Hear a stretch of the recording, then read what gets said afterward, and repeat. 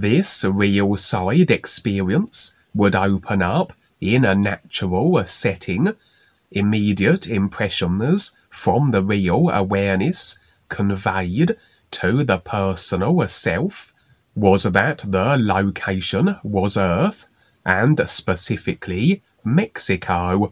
Although my personal self alone could not have determined this, based on its current lifetime memory files of experiences, as I have never been to Mexico before, and despite the real awareness impressions, there was in fact a personal self a sense of familiarity about the precise area of Mexico I was located, as though I had indeed been there before. In reality, we all are this everything, isness reality, that animates through all a consciousness as it effects into all the diversity of a body form and a simulated experience that it does, so we might say that every being's lifetimes are actually our own, and so would not every position in a creation, every planet and a situation seem familiar from the perspective of a real awareness, this everything isness that animates through it all. But were we locked only into the personal self, absent of the real awareness connection and this familiarity overview, then that which we find familiar, the sense of having been somewhere before, despite the experience lacking in our current lifetime memory vehicle, would suggest a familiarity stemming from an alternative, what we might call past lifetime, although in a reality every a lifetime is a present in the endless now of the isness, and only through the mechanics of a consciousness is everything arranged in linear sequences of illusory time and lifetime sequences. In actuality, then, we are living every a lifetime we have created for ourselves now, and only the mechanics, the consciousness to affected body forms, that translates the ideas of a consciousness to a simulation are we viewing, experiencing a particular part or lifetime from all the ideas and lifetimes that the entirety of a consciousness comprises of? But anyway, my appearance in this experience would be human, and although I didn't scrutinize myself. I was relatively similar to how I appear now, but there were a few variations I couldn't quite determine. The setting in Mexico, natural countryside as I said, also was a communal area seemingly. A large gathering of individuals in what appeared to be as though a rudimentary village. A number of stalls were erected, selling their wares, fruit, vegetables predominantly. A refreshing lack of a technology also might well have suggested a time in Mexico prior to the so-called modern age, although this was never determined either.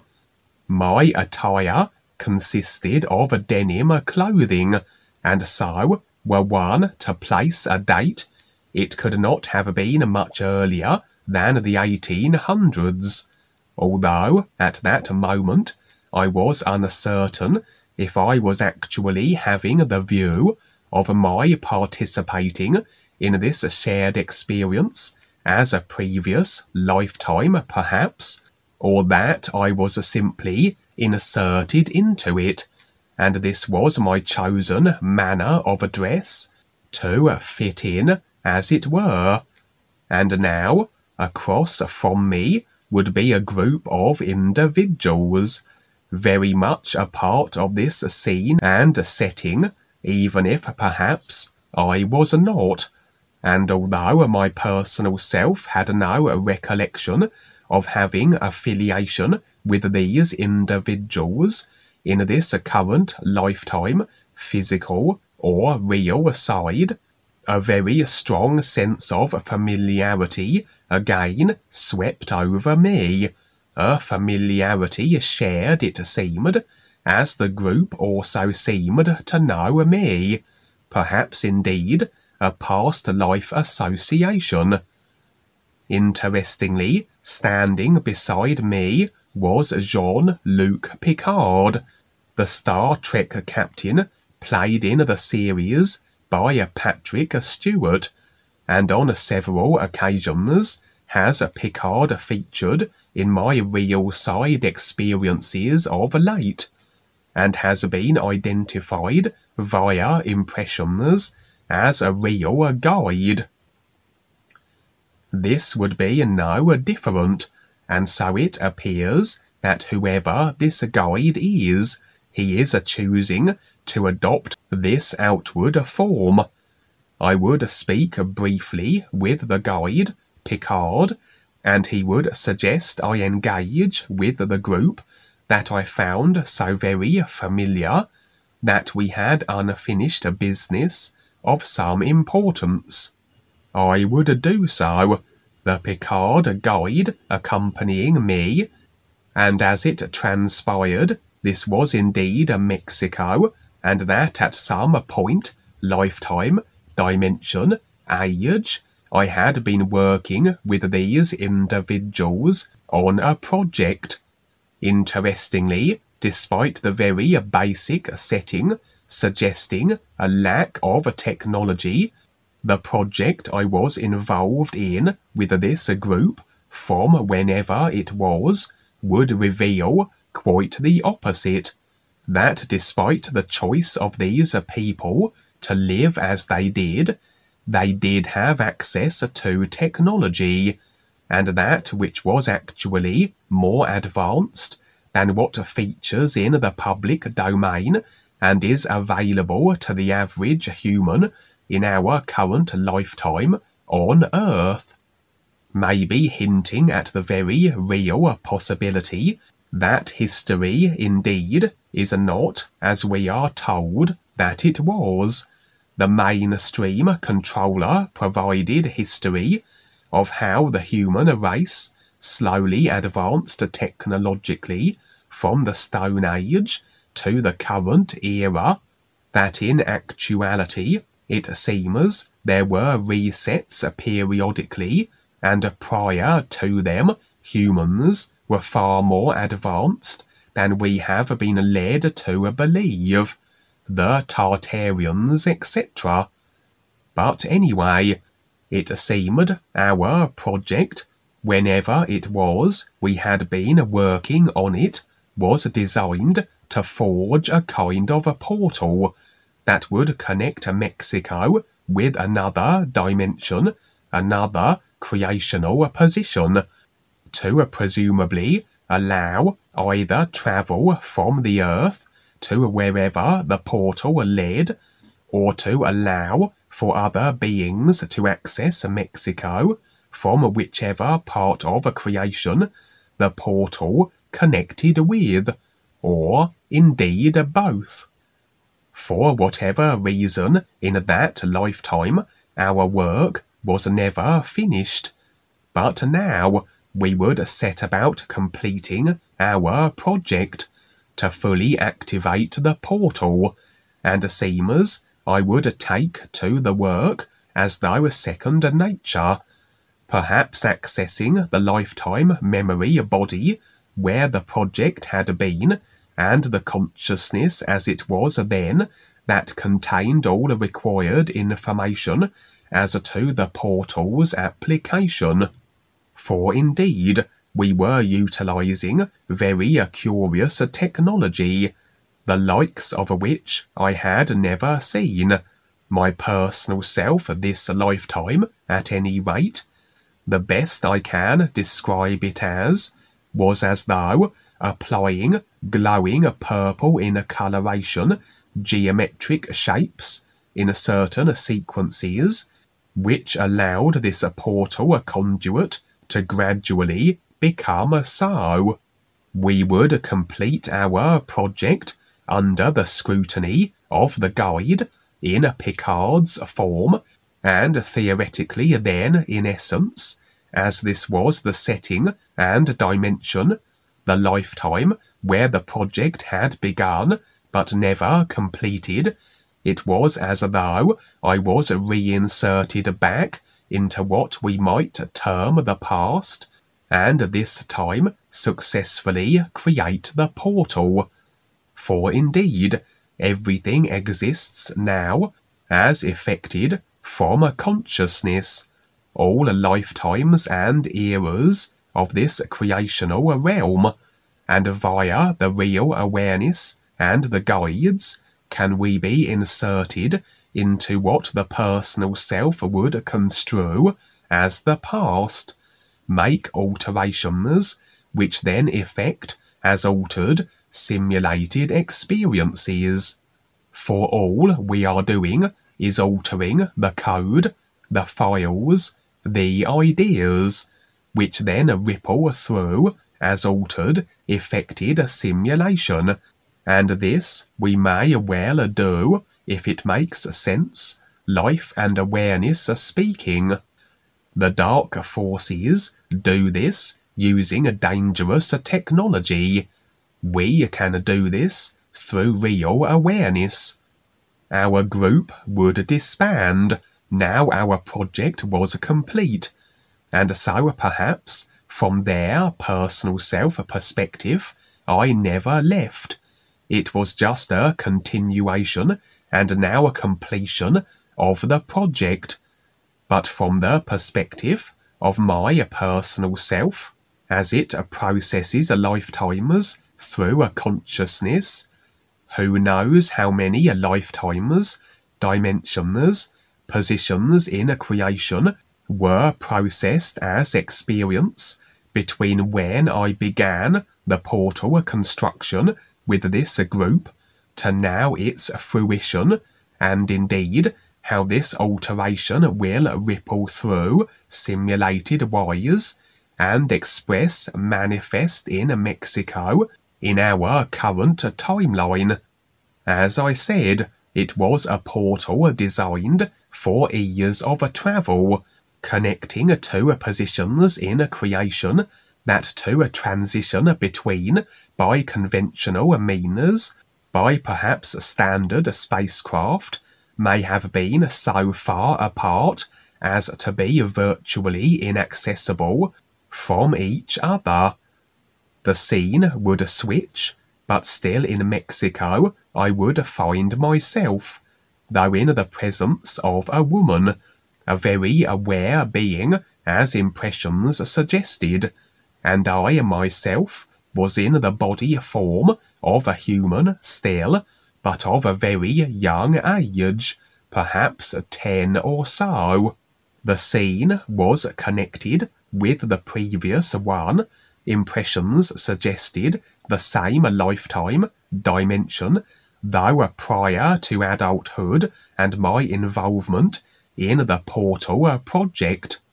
Curiously, I was being hunted by some kind of a creature, a creature known to the peoples of that dimension, lifetime, and the woman I was with would alert me to the fact that it was on my trail and close by. I would excuse myself from her and retreat, as it were, and as I moved from the woman's position, as I looked back at where she remained, so was she suddenly attacked by as though an invisible assailant. The creature was targeting me, but would it seem as slay any other human that happened to get in its way. This again seemed very familiar, and my impressions were that I was reliving a past so called a lifetime, just as I had relived the portal a project that I would embark upon in my later years, only instead making alterations to that lifetime and completing the project as I said. Here it seems, as a young boy, had I always been hunted by this creature, but curiously, as I effectively relived the experience, including the emotions in response to the experiences I had created at the time, seems I did not feel or had created a fear. For yes, the creature was hunting me. Yes, it would kill the humans, getting in the way of those it targeted. But seems that for the targets it specifically chose, it intended for them something altogether different. Something that as a boy I couldn't understand. And so my instinctual reaction to this unknown was to constantly be on the run, as it were. There would be periods where it might take many months for the creature to find my scent, if you will, but find me it always would eventually, and I would have to run again.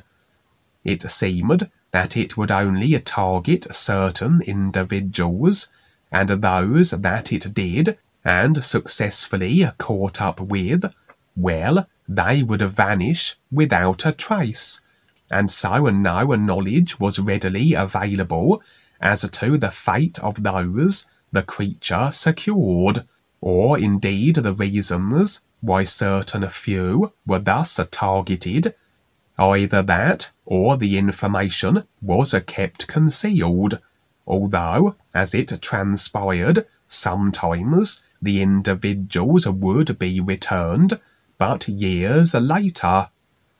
As I said, I lacked a fear, as though a deeper knowing, maybe an recognized at the time a nudge or assurance from the real awareness that it was rather assuaging the personal self that this was not a life-threatening situation, despite the humans the creature killed as it went about its pursuing of its target's business. And indeed, as I relived the experience, always was the subtle but persistent sense that I ought allow the creature to catch me. However, at the time I was just a young boy, and rather had got into the habit of running from it. For now, as I continued to relive the past lifetime, the creature was hot on my heels. I would run through a large field of some crop or other, as I looked back, so I would see the crop being parted, as though a large form pushing through it, though still remaining invisible. I was a tiring, and seems I hadn't maintained as stringently the necessity to be constantly on the move over the months as much as I perhaps should have been, that had maintained plenty of distance between myself and the creature, that had now allowed it to get into a closer proximity, to the extent that with myself now in its sights, I couldn't outrun or escape it, and so, resigned to my predicament, I would stop. The creature, remaining invisible, would as though merge with me, and I would fade from the location where I was with it, just as it would have been with all other secured targets. But that I had experienced being an adult in that lifetime or dimension suggested I wasn't killed by the creature or permanently removed from wherever in a creation that it was. For indeed, as a child, I was removed from that place to an alternative a dimension with the creature, and my duration spent there with it lasted but moments from my personal at the time perspective, but in actuality many a years passed, and I would in fact be returned to the same place I had been taken from, but now as an adult, and where I would begin my portal project, and as I said, in this experience, have the opportunity to actually complete it, which I did. As for whatever reason, it never was completed when I actually lived that lifetime, as I said. In the alternative dimension that I was removed to, that lasted a few minutes, as I said, the creature was no longer invisible. It looked like a kind of a tusked boar or a warthog, but in actuality seemed to be a being with a particular developed a consciousness, able to change its form at will, but for whatever reason electing to be in the form that it was and not the most admirable of developed a consciousness, personal self creations, as it did kill humans that it construed as a getting in its way.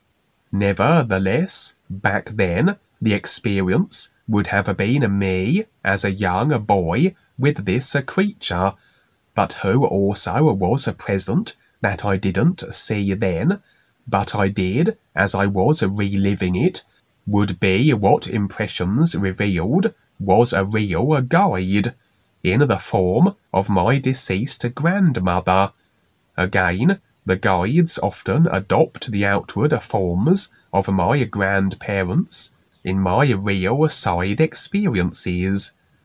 She would have been sitting with me there, unbeknownst to me at the time and perhaps not too enthralled with the creature's choice to kill humans when the creature felt it necessary to do so, but nevertheless this creature now was in fact assisting me. There is an old legend or myth that may be a Native American in origin, where certain supernatural creatures or beings had the ability to consume people, to literally eat them. However, what was actually taking place was a sort of a rebirth, that through the seemingly grisly a process of consumption of the individual, the eaten person would be reconstituted, but absent of all flaws, illnesses, disease, and in some cases all of that which would be construed as a self-limiting beliefs, ideas, self-destructive considerations, attitudes and personality quirks that were unproductive. This creature, during whichever lifetime this had taken place, was performing a similar action. It was as though eating me a piece at a time. My body became as though comprising of endless loosely assembled fragments that the creature would consume piece by piece. But despite this, throughout it I would feel no pain. The guide, although, as I said, I was unaware of as to her presence at the time, would watch on, and as I was completely consumed, the boy I was was gone, and my age had advanced by ten years or so, a man I now was, reconstituted not just physically, but as though alterations had been made to my consciousness during the process. A little like the ancient myths of the creatures, beings, who could purge all illness and personality flaws from those they consumed, so it was a similar situation here except my consciousness had been altered in such a way that I possessed of the technological ability, the intellect, that on my return I would later be able to be accepted into the portal making a project, join with the group of individuals that were involved with it, and be an asset to their ambitious venture. For of course everything effects from a consciousness design.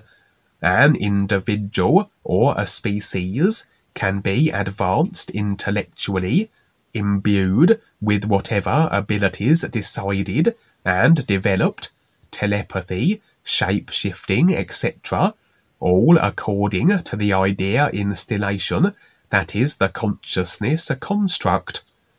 And in this case, then, this creature had been as though prompted to target certain individuals. It was its decided and agreed to a function to cause certain consciousness alterations that took place in this curious dimension where it carried out its operation, that then allowed for those it targeted to be imbued with abilities they previously lacked, that when returned to their position in creation they were removed from, so this facilitated the altered individual's ability to carry out certain assignments, objectives, etc., that seemed to overall be of a beneficial nature as they were overseen by the guides. And so, overall, it was a past life glimpse of the curious interjection of a creature with a consciousness altering a capability into my experience, removing me from a position in a creation for many years, returning me and allowing that I can assist and be instrumental in the attempted construction of a portal from Mexico, whenever lifetime and time era it was. A portal that connected to another dimension in creation. That the project never was completed, but the experience allowed me to do so by reinserting me back in the lifetime dimension where for whatever reason we had been unsuccessful. The creature provided ability had been there, for we had no issue in completing it in the reinserted experience. Did uh, that was great, uh, Kevin. Yeah, that was really cool. And so you went everywhere in that one, didn't you? Yeah, and Mexico too. Yeah. So yes, Mexico's the spot right now. Uh, we're having fun down here, and we're bringing it all together. But uh, what you're uh, presenting there to everybody, that should wow them, and it'll take a little while for them to figure it out. But eventually, they will as we keep uh, presenting what we do here. And so while you were talking, I was making another uh, new group on uh, Facebook uh, with Kelsey here.